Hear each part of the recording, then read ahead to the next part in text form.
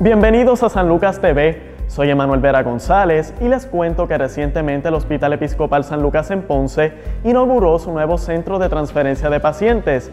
Y para que nos explique detalladamente en qué consiste este nuevo servicio, nos acompaña su gerente general, Dariel Collazo. Saludos. Saludos, Emanuel. Saludos a nuestros amigos que nos observan. Dariel, para poner esto en contexto, ¿qué estaba ocurriendo anteriormente cuando se intentaba trasladar un paciente desde otra institución hospitalaria hacia el Hospital Episcopal San Lucas, que es una institución terciaria? Lo que estaba ocurriendo anteriormente, Emanuel, era que había una deficiencia en el traslado de paciente a paciente. Esto porque no había existido un departamento centralizado que recogiera todos los datos para darle continuidad. De ahí surge la idea de crear un centro de transferencia que fuera ágil, eficiente y que le diera continuidad a esos casos.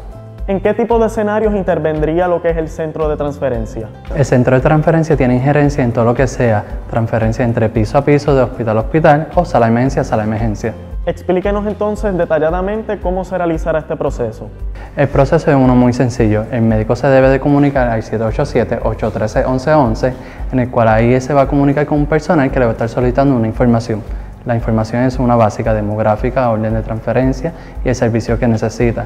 Según el servicio que necesita, él va a solicitar una información adicional como los laboratorios o estudios. Precisamente quería hablar sobre el personal con el que va a contar el centro de transferencia y sobre la tecnología que tienen disponible. El centro cuenta con un personal de enfermería altamente capacitado para manejar todos estos casos de transferencia. Igualmente contamos con computadoras, teléfonos, fax, correo electrónico para ofrecer un seguimiento correspondiente. ¿Qué beneficio esto tendrá para los médicos? El beneficio que va a tener para los médicos es que va a existir este centro de transferencia en el cual ellos se pueden comunicar para darle seguimiento a estos casos que ellos quieren transferir a nuestro hospital. ¿Y los pacientes cómo se beneficiarán? De igual forma, tanto el paciente como el familiar se puede comunicar con nosotros y puede saber en todo momento en qué estatus se encuentra su proceso para recibir los servicios del hospital. ¿Cuáles son los pasos que deben seguir los médicos que estén interesados en iniciar el proceso de transferencia de pacientes?